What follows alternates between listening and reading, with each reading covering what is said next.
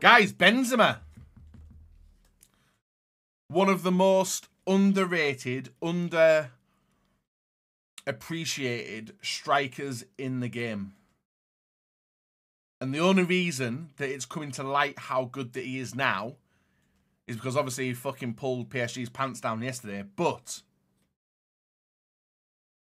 he was always in the shadow of Ronaldo, right? And Ronaldo was the person holding Benzema back. And it's not just last night Karim's been doing that. Since Ronaldo left, Karim Benzema has been unreal.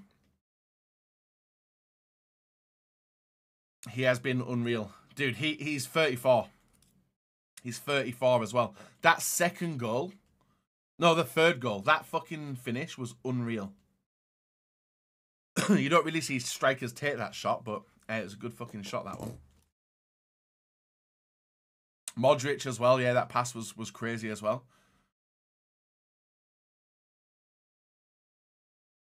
Was uh was he's unreal. And Benzema Benzema's always been a beast. Vinny Vinny is fucking rapid, isn't he? Yeah. Rodrygo had a good game as well. When he came on.